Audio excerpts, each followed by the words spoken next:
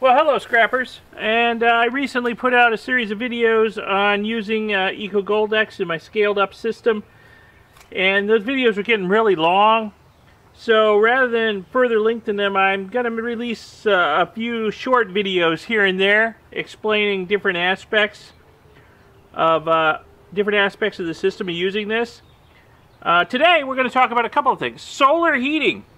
Alright, I like to work out of plastic buckets for the most part on my on my um, scaled up system, and I live in Florida where it's hot.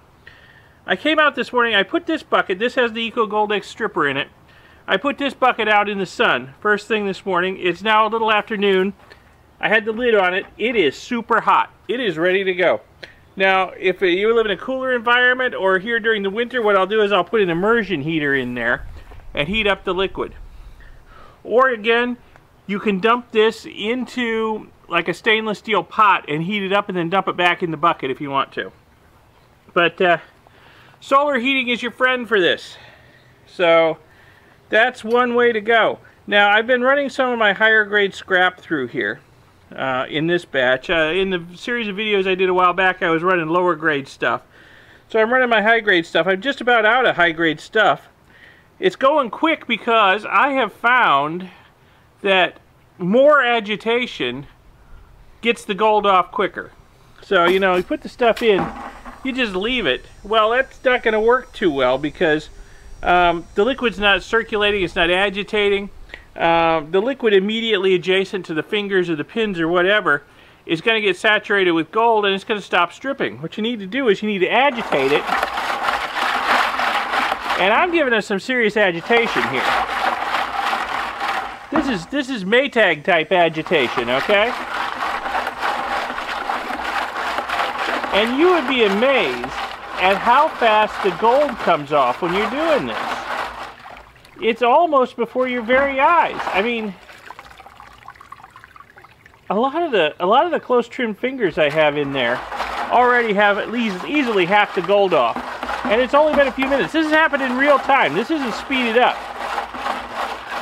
So, yeah, agitation really helps a lot. Oh yeah. I'd say we're up to like three quarters of the gold gone on most of that stuff now. It's just that quick. It's amazing. Like the, the more you agitate this, the better it works and the quicker it works.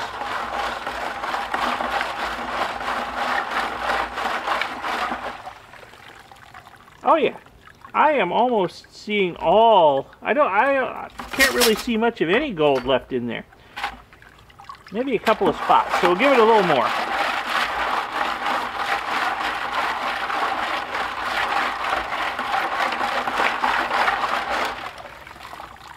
And that's it. I don't see any more gold. And then if you do this, in this tall bucket, you do this really fast,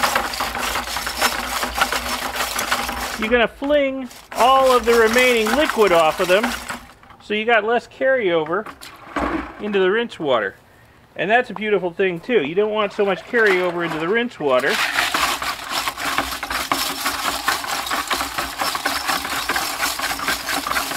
And then sort of wring them dry like that. And now I'll dump them out on, the, on my bench over there and I'll sort through them. And anything that still has some gold on it will go into the next batch.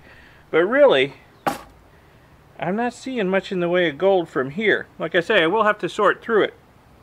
But uh, it's looking pretty good. And I think uh, less time in the stripper means the stripper has less chance to take out base metals like copper and tin too. As soon as the, the gold is gone, you pull it right out and put it in the rinse water and stop the process. You know, you don't don't let it sit in there and and keep um, keep stripping off base metals. You don't want that because uh, you don't want it wasting its stripping power on base metals. You want it to just mainly strip the, the precious metals off. And uh, looking pretty good. Yeah, so it's a beautiful thing doing it that way. And you saw how quick that was. That was real time. I have gone through, I did five or six loads of high-grade scrap yesterday just that fast. In the afternoon, the liquid was good and hot. The hotter you get it, the faster it strips. More agitation, the faster it strips. That gold was coming off right before my eyes. And uh, like I said, I'm almost out of high grade stuff. I'm going to have to uh, uh, start filling the basket up with the lower grade stuff and use up the rest of the stripping power in the Eco Goldex, and then uh, then I can uh, adjust the pH in it and cement out whatever gold it contains. All right, I was talking about solar heating the buckets earlier to uh, get the Eco Goldex up to temperature for stripping. Well, I've switched to using uh, um, Lowe's dark blue buckets with black lids. And I'll tell you what, even on a fairly overcast day like today, in a couple of hours, the liquid in this bucket will be hot enough to start processing stuff. Um, so solar heating is a beautiful thing. Take advantage of it. All right, so that's that's sort of an Eco Goldex short. Uh, I hope you found this interesting, useful. Give the video a thumbs up if so. Give it a like. Uh, subscribe to see future videos. They'll be coming out on all kinds of different subjects. Uh, press the bell icon that YouTube makes you press to be notified when those videos come out. And thanks for watching. Bye. Happy scrapping.